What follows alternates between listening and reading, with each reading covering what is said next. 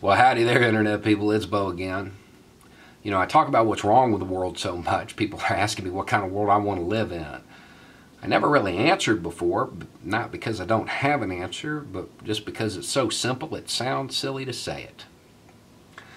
I just want to be able to sit on my porch and drink homemade whiskey while I use my phone to order a pizza that's going to be delivered by a drone that I'm paying for with cryptocurrency that was mined using renewable energy and I'm ordering this pizza because the newly married interracial gay couple next door is coming over to introduce me to their recently adopted refugee child.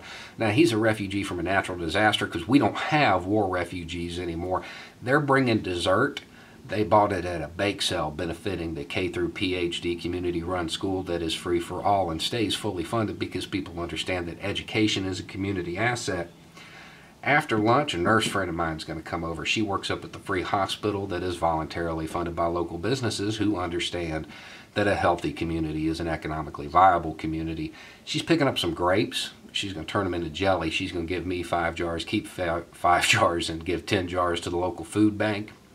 Every yard grows food, and what isn't needed is shared. There's no big daddy government forcing all of this to happen. It's just people helping people.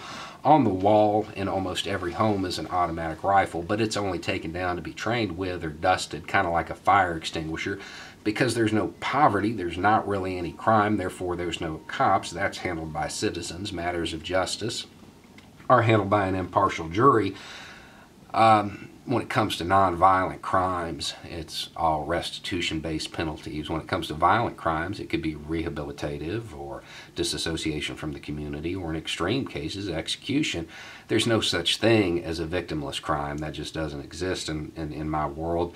Individual achievement still motivates everybody, but it's not the pursuit of material possessions that keeps people moving, it's the desire to see their community prosper.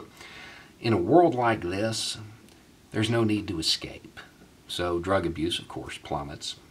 Coordination between communities, well, that exists and mainly done through teleconference when the experts in whatever the field is that's being discussed sit down and work out a consensus on what's best for everybody. Intercommunity trade occurs much like it does today, but without the profit motivator, inventions come to market a whole lot faster because there's no intellectual property laws. Workers pray for the automation of their industry because their needs are met with or without their job. And when their position becomes obsolete, well, they innovate and drive society even further into the future. As we embrace that equality of opportunity, bigotry dies.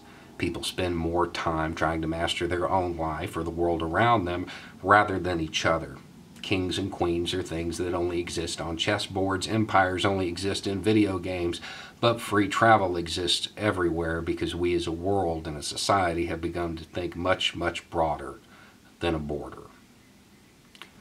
I know, sounds pretty utopian, right? But it's just a thought. Y'all have a good night.